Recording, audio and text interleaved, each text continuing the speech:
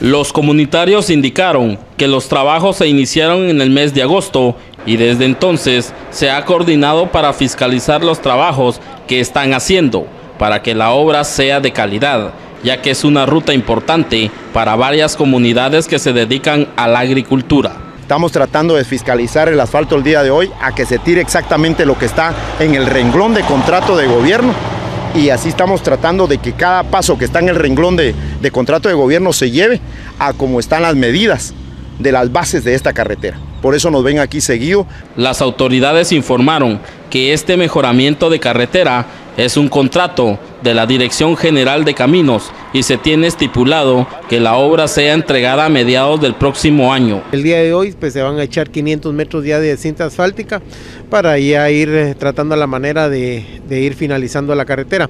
De, ahorita se está echando una capa, eh, parece que el día de mañana le van a echar ya la última capa, que ya es la que el sello final que va a llevar la, la carretera. Así es de que estamos muy contentos porque esta carretera desde mucha lucha, mucho esfuerzo, mucha gestión de, los, de las comunidades de de Caballo Blanco y las visitas a Guatemala yo creo que dieron resultado.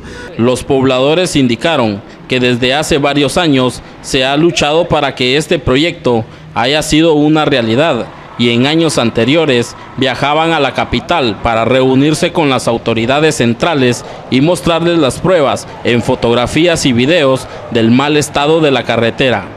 Por una Guatemala en paz, reportó para Noticiero Guatevisión Rolando Miranda.